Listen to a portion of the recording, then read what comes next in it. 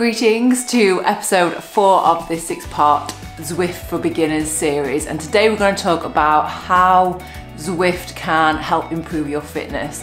And there are four main ways that you can build your fitness on Zwift. And I'm gonna cover, I'm gonna cover them all, but I'm gonna go in depth more of two of them. So the four different ways are social rides, races, training plans, and pace partners. So I think the key thing to start off with saying with any of these is consistency is so important. And I think that's why Zwift is so incredible because it doesn't matter what the weather's doing, you can always, you know, you're always able to train. So let's first off by talking about social rides. So there are so many different social rides on all the time on Zwift in all different time zones, different lengths, different speeds, different paces, so many different social rides to choose from.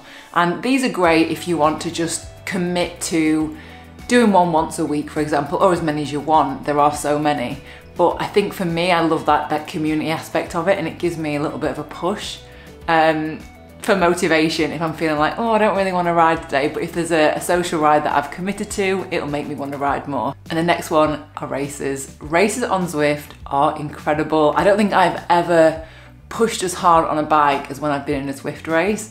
There's just something about it in that group race setting that just pushes your motivation. I don't know what it is, but races are incredible for pushing, I think even pushing past what you think you're capable of.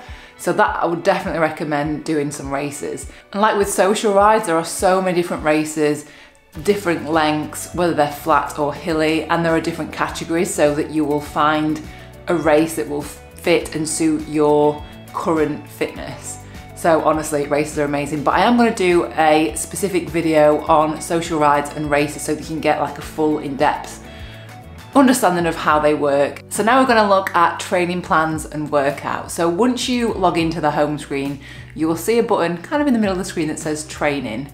If you click on that, that is gonna bring up all the different workouts and all the different training plans that you can follow. If you click the left hand tab which says workouts, you're gonna find all the different workouts that are on offer on Zwift that have been created by top coaches.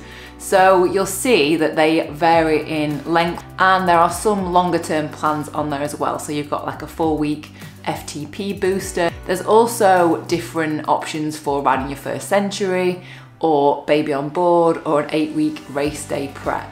So have a little look on there and see which which I guess workout and which plan works for you and what you you know what your goals are. And then if you click the right hand tab which says plans, you're gonna find all the different, I guess longer term training plans. So anything ranging from four weeks up to 12 weeks. And these are all based on different activity levels and how much time you, you can set aside a week to train. So if you're starting back your fitness journey, Back to Fitness, which is a beginner um, plan, which is 10 to 12 weeks, which is an hour a week. But if you're training for a Gran Fondo, for example, there's a long-term plan for events, you know, between 100 and 200 kilometers, and that's a five to eight week program with five hours a week training. But I'd suggest you just go and have a look on here, have a look through what there is. And if you actually click on each of the plans themselves, it'll tell you, you know, what's coming per week. So I think that's really good to actually go and have a look at.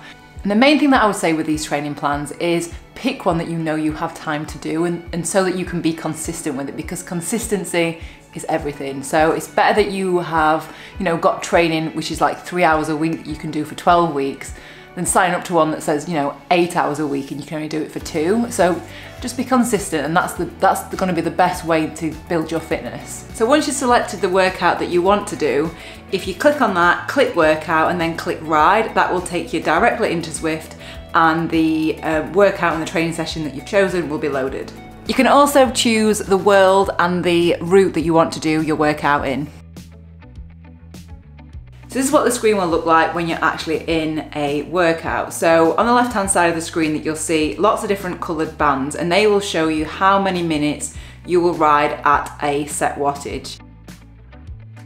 And you'll also get prompts from the coach who designed the workout in the middle of the screen throughout the workout just to kind of help motivate you through it. The next way of getting fitter on Zwift are pace partners. So how do you actually ride with the pace partners? So on the home screen, you want to either choose Watopia or Makuri Islands because this is where the pace partners live. And where at the bottom of the screen it says find other Zwifters, you will see pace partner bar there. So you select that and then you can select which pace partner you want to ride with. So A is 4.2 watts per kilo, B is 3.3 watts per kilo, C is 2.5 watts per kilo, and D is 1.5 watt per kilo. Pace partners are amazing and they are basically like a ride leader that sits at a set pace all the time. So you can ride with them and it's kind of like a group ride, so there'll be a few of you around that rider. If you have an event in mind that you want to ride at a set pace, then pace partners are the perfect tool to be able to build your fitness to the pace that you want to be able to ride at. So pace partners are also a good way to either warm up or cool down after a say, you know, part of your training plan or a social ride. And very briefly, just explaining what watts per kilo mean if, you, if you're not aware. So if you've got a smart turbo or you've got a power meter, the power numbers are in the top left of the screen when you're actually riding and that tells you how much power your legs are pushing out. And that's also incorporating your weight. So watts per kilo is based on how many watts per kilo you are currently putting out. So for someone that's 65 kilos, if you're holding, you know, 130 watts, that's two watts per kilo. So I hope that makes sense. And if you're not sure, go and have a ride on each of these and see what the pace is like. And then that will give you a better idea of what your watts per kilo are and your what your goal watts per kilo are. So they are the four ways that you can use Zwift to build your fitness. And talking from experience for me, Zwift has been a huge, huge factor in me building fitness. And I think it's just down to the consistency. It doesn't matter what the weather's doing. I'm in the drizzly, cold UK. Zwift is my go-to for doing all my training. So I hope you found that video useful. And if you've got any questions, leave them in the comments. And I will see you next video for episode five of this six part video series. So yeah, thanks for watching and I'll see you next video.